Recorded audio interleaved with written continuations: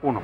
Hola, aquí estoy en Morelia, me llamo Germaine Franco y, doy un saludo con mi corazón a Cinema La a todas las personas que están escuchando. Aquí estoy para la festival, el festival y estoy muy orgullosa de ser latina haciendo música para películas, especialmente esta película Coco porque tiene la onda mexicana y hemos trabajado cuatro años en, en la música y espero que les guste mucho. Y gracias a Alfonso Aranda por toda su apoyo.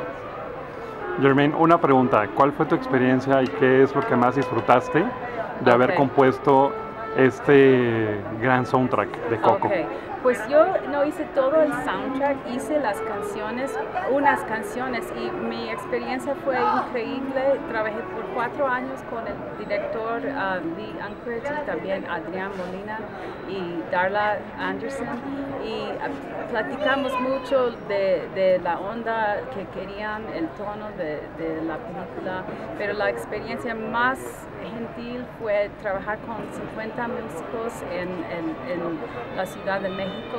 Tuvimos muchos grupos ahí, Mono Blanco, tuvimos am, ah, muchos músicos, ah, mariachis del Águila, tuvimos am, grupos de tres, cantantes y fue una ah, experiencia muy importante, un intercambio cultural entre los, los americanos, los mexicanos americanos y los mexicanos, porque el raíz es lo mismo y somos muy orgullosos de, de la música de México.